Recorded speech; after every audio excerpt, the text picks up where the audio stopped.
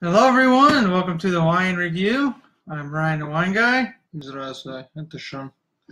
Today we are doing Luna Calante Merlot Vendemmia, which means vintage or harvest, 2015. Uh, it's about eleven dollars haven't really found much information on this wine. Um, 13% um, alcohol by volume. It is an IGP wine or IGT. And basically, what that means is it is kind of like the baby of all wines. Um, not as baby as generic wines from Italy, but basically, if a wine wants to make it big and bold um, and go places, it always starts off as an IGP or IGT, which means that it's met the requirements um, of being grown in a specific region of Italy, um, and it's met some mild requirements to sort of get to this position where they've passed um, some vindication laws, harvesting laws, shipping and processing laws, and whatnot. Um, and from there, they go on to be DOC and then DOCG, in which they have to meet even stricter requirements and even limited um, more, um, not production, but um, harvesting. They sort of, um, each process becomes more specified location wise and um, better quality wines that have been around for a long time. But in order to get there, it always starts off as this. So this little guy goes places, which it might, it may not, never heard of it, but this sort of a brief synopsis of how wines in Italy are labeled. Well, to start off, here it is in the glass. Wow, very, very, definitely dark. Little, little thick. Uh, nice ruby rim, but definitely getting really, really dark in the middle. Can barely see my hand. Uh, on the nose.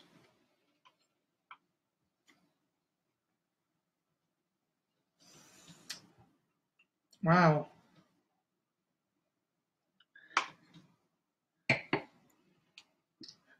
Get a little bit of earth in there. A little bit of sweet earth. A little bit of like light spices, but I am getting some herb. Mm-hmm. I am getting some herbaceous notes. Tomato, green pepper. Getting some, getting some like, getting some red fruits in there. Cherry, maybe a little bit of candied cherry. A little bit of maybe like strawberry, a bit of plum getting a nice a nice chocolatey uh, back. No, he, he's just he has no idea that that he's all he, all he's all he's smelling is wine. No, it's, I can I can pick out some flavors and stuff like that, but but Yeah. I my nose is not half as you know. He's been doing this a lot longer than I have, so my nose is up in condition for that. There's also again sometimes with these Italian wines, there's just like just this faint, really smell that is like, it, and it always seems to happen in Italian wines, just sort of like this like faint little. I don't know how to describe it, but it's always it's only always been in Italian wines, and I just so sometimes I'm never like I, I pick up on it, but I usually don't like to like say what it is because I don't know what it is, and um, but you know, as you know, all know, I, I do sometimes get stumped, and there's always just something in Italian wine. It's sort of just like mixture of all the flavors together. It just kind of creates this like I don't know, just like harmonious. You know what it is? Hmm.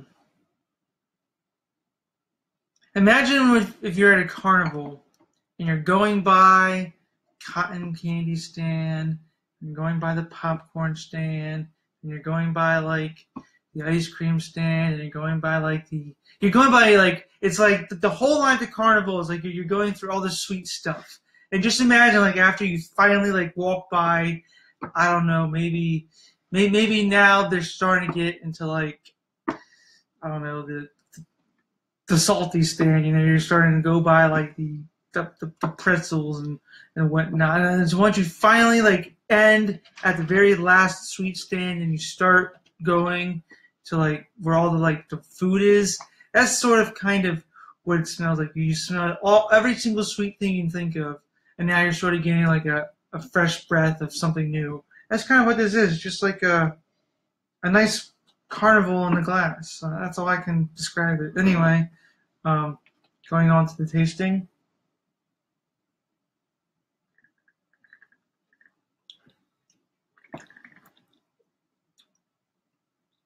Huh.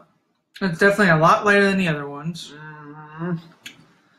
A lot more, uh, very smooth, Mhm. very smooth and very fruit forward. Definitely a very fruity wine. Mhm. I don't mind this. Definitely, they're definitely very upfront fruit, upfront fruits of A little bit of spice. a little bit of spice in the back. Def, definitely Mhm. coming up very slowly, but not not not like the past couple wines that it's been like very upfront and noticeable. This one is definitely fruit forward, Mhm. nice for me, nice cherry notes, nice um a little bit of plum notes, nice strawberry, a little bit of cranberry in there. A lot of a lot of those good like Italian Italian um Italian notes coming up as you mentioned, those little bit of spice notes. So it's like it's like uh, eating a fruit by the foot in the McCormick uh, factory. There you go, fruit by the foot. Yeah. Um, coming up with a little bit of those chocolatey cocoa tones.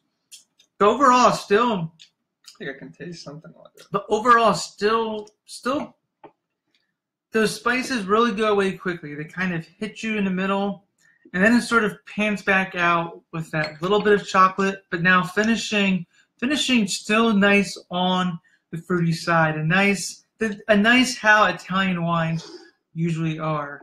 Um, just have really just good, good smooth. Just, I mean, these these are wines you can. These are wines you can drink. These are wines you can just perfect for pairing, but you know, these are wines you can easily also just drink by itself. Um, Now, how is it? How would it be? What good, what's a good cheese that would be good with it? why does everybody always ask about cheese? God, Because that's what you drink with no, wine. no. I don't know why. I don't know why any. I don't know why that's even a thing. Okay, well, what about what about the Cheerios box over there? Should we just like grab things at Cheerios, stick them in our mouths, and you know, drink the wine? You know? No, I, I mean, yes, I, I do have cheese with wine, but I, I- mean that's just so cliche in my opinion. Like, if if you're, if you're going to drink wine, you drink. If, if you're going to drink it with food, you want to have like good food. This this is a good. This, this is a good pizza wine. This is a good. This is a good. Um, Which has cheese on it, by the way. you're not missing, but you're, you're not just eating it with cheese. You're not just digging out fucking cheese cubes from the refrigerator. So, hi, mom. But this is a good pizza wine. This is What a good. name? This is a good pasta wine. Um, but it's, it's not it's not a big heavy wine, so I wouldn't necessarily like add in all the uh, meatballs or sausages. I would you know may, maybe add in something light, like maybe maybe add some like you know chicken parmesan. This would be very very good. So so definitely something rich in in sauce, but um, nothing you know don't you wouldn't want to maybe put this with something very spicy. Um, you also wouldn't want to just have this with something light and bland. You know, just not you know don't don't just have this with like a, a chicken. You know, um, you know, ma- ma- make sure you put something on it like sauce or um, maybe maybe even like a a nice light stew. You know, not nothing too heavy, but you know, something like nice and light. Um, that's what this would pair with. And chocolate. You know, wine goes good better with chocolate, in my opinion, than it does with cheese. Like I said, I, I do I do eat cheese with my wine. I do drink my wine and eat cheese, but it's just so, so cliche now. now Dark, dark chocolate, milk chocolate, doesn't matter. This one, I think it has more of a milky sort of characteristic to it. So probably more on the milk chocolate side. If you're going to have like like milk chocolate truffles or just milk chocolate in, in, in general. Look at all those wows. But um, so that's what that's what this would better pair with. I may I may break open one of my truffles right after this and enjoy it with this wine. Um, anyway, final conclusion. Being that this is a, a wine I've never heard of, I actually got it at the cut rate store up the street from where I live.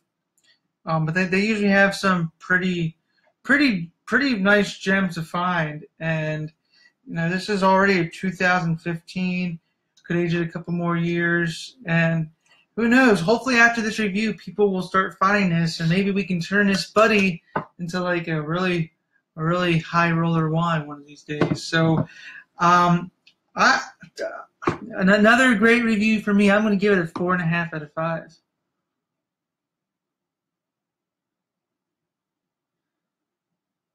Well, Four to seventeen out of two hundred and seventy-three divided by fourteen times five hundred divided by a black hole and an existential crisis. well, if you can figure out what that is, please leave a comment. And uh, who knows? Maybe you'll be able to solve every the whole problem with the whole world if you're that smart. So, anyway, until next time, I'm Ryan the Wine Guy, That's a shame. and cheers.